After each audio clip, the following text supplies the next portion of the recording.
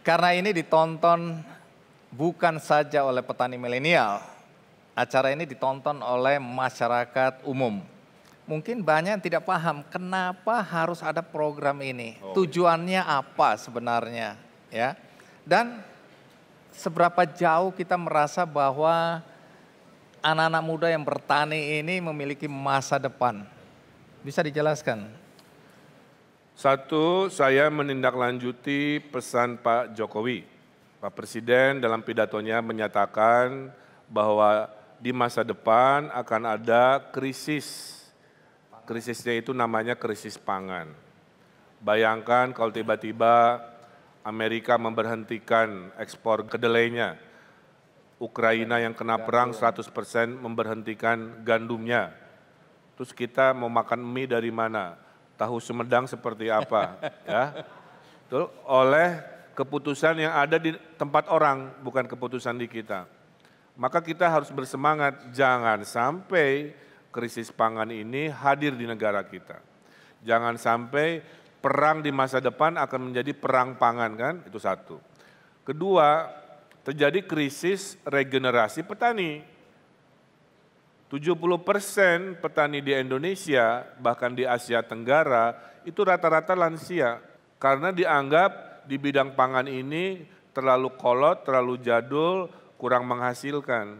Nah, lahirlah program ini untuk membuktikan tidak boleh ada krisis pangan karena generasi mudanya semangat, bertahan, membela negara dengan ekonomi pangan.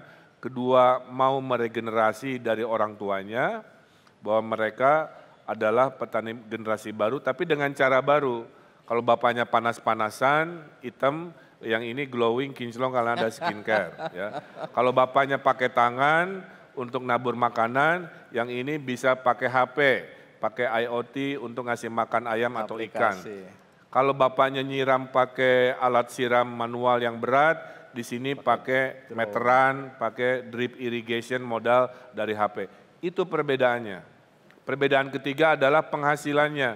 Kalau bapaknya penghasilan pas-pasan, insya Allah dengan e-commerce, bahwa berdagang itu tidak harus di wilayahnya, maka petani milenialnya harusnya lebih sejahtera, lebih sukses daripada orang tua dan generasi petani sebelumnya. Gitu. Setuju. Baik, berikutnya teman-teman kita akan undang wakil dari petani milenial ya, kita ajak ngobrol. Dan lepas dari apa pun ya bidang usaha yang teman-teman tekuni, tapi apa yang diceritakan ini sifatnya nanti universal, bisa di, dipelajari ya. Mudah-mudahan ini melahirkan inspirasi ya Kang Emil ya. Betul, karena apa? Kita ini biasanya nunggu dulu ada cerita sukses, kemudian terinspirasi. Itu sangat manusiawi lah ya. Jadi yang nanti ke depan adalah mereka-mereka yang inspiratif, dari zero to hero istilahnya kan, yeah. untuk membuat kita semangat bahwa kalau yang di depan ini nanti bisa, saya juga harusnya bisa kan betul. Hanya masing-masing punya kecepatan menuju tujuan itu beda-beda. Ada yang 40 km per jam nyamannya, ada yang 70 km, ada yang ngebut. Jadi masing-masing, tapi tujuannya sama, meraih kesuksesan lahir batin melalui profesi mulia ini petani milenial. Tepuk tangan. Iya. Baik, Kang Emil, kita panggil sahabat kita yang pertama, Koni Ilma Navianti. Wow, sporternya, sporternya banyak sekali nih ya. Koni. Iya. Loh, petani memang glowing Bapak. ini ya. Iya, itu bedanya iya. sama ibu bapaknya. Bedanya ya. Oke. Okay. Kan kalau petani bapak ibunya anggarannya untuk pupuk. Uh, uh, kalau, kalau ini anggarannya ada tambahan untuk krim malam dan krim siang. Betul begitu Koni? Ya sedikit. ya sedikit ya, sebentar lagi banyak. Tapi Amin. jangan terlalu banyak ya. ya. Oke, Koni silakan duduk.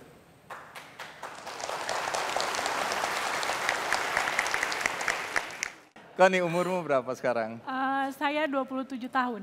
27. Iya. Jadi usahamu apa? Alhamdulillah sekarang saya usaha di ayam lokal, ayam sentul. Ayam lokal? Ayam sentul. Ayam sentul? Iya. Ayam sentul itu apa? Apa itu? Singkatan? Enggak, Pak. Ayam sentul itu Oh, KTP-nya disentul ayamnya. bukan, Pak. Oh, apa? bukan. Ayam sentul itu Disentuh mantul. Bukan, Pak. Bukan juga. Kok Ayam nih lama-lama dia marah dia pulang loh ini. Oke oke ya jelaskan ayam sentul ini. Ayam sentul itu ayam plasma nuftah asli Jawa Barat, Pak. Asli dari Kabupaten Ciamis. Asli. Iya, Ayam sentul asli Jawa Barat. iya, betul. Berarti bisa ngomong Sunda ayamnya ya. Tiasa, Pak, tiasa. Kok habis diajak ngobrol. Terus Koni udah berapa lama jadi peternak ayam ini? Eh, Alhamdulillah jadi peternak ayam saya dari tahun 2017 Bapak sampai sekarang. 2017 sampai hari ini. Iya. Masih setia. Masih. Kalau setia gitu berarti melihat prospek ya. Sudah sudah Iya. merasakan bahwa ini punya uh, masa Potensi depan ya. besar, Pak. Iya. Tapi kembali ke ayam sentul ini. Apa bedanya dengan ayam-ayam yang kita tahu selama ini? Eh, ayam sentul itu mempunyai cita rasa yang khas dan juga sehat karena merupakan ayam lokal. Baik, ini ayam ya. Ditekuni sampai berapa dari dua- 17 sampai 2017 sekarang sampai- berarti sudah hampir enam tahun ini ya. Iya, betul. Nah ini udah berapa banyak ayam yang ini ayam pedaging berarti ya? Bisa pedaging, bisa bibit juga. Oh, oke. begitu. Oh, jual bibit juga. Iya. Baik kalau gitu daripada kita eh, tanya-tanya lebih jauh, kita lihat langsung aja ya apa yang dilakukan Koni. Jadi teman-teman tolong disimak karena mungkin bisnis teman-teman bukan urusan ternak ayam, tapi apa yang dilakukan Koni ini bisa jadi pembelajaran ya. Kalau gitu mari kita simak dulu tayangan berikut ini.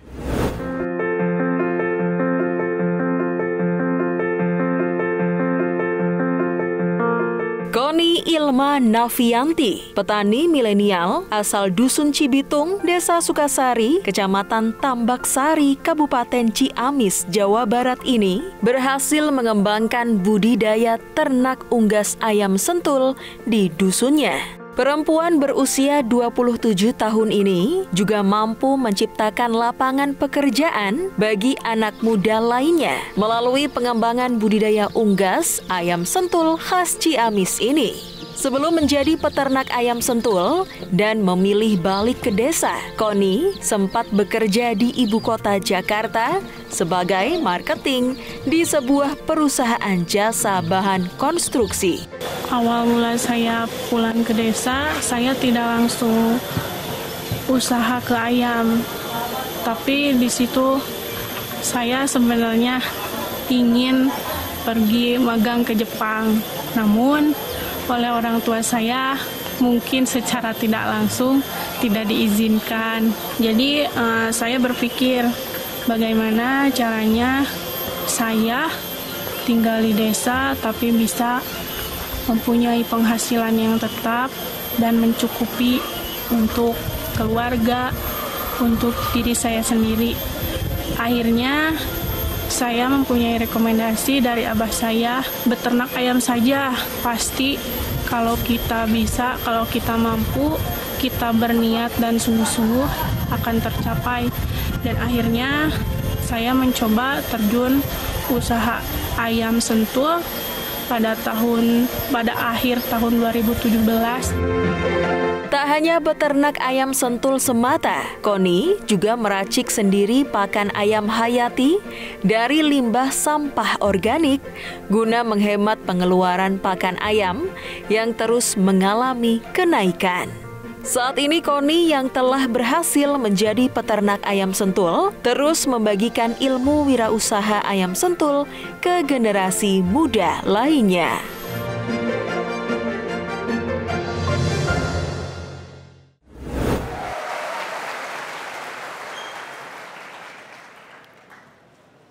Baik, tentu teman-teman mau tahu ya dari mana gagasan awal ya eh, Koni tertarik untuk terjun ke usaha ternak ayam ini dan kemudian apa tantangannya dan kita tentu mau tahu omsetnya nih ya berapa banyak ayam yang berhasil dijual atau i- apa anak ayam atau Iya. telur juga dijual Ya, semuanya dijual Ya, Ya, alhamdulillah jangan jawab semuanya. dulu, karena kita akan rehat senak. Ikuti terus Ki Candy.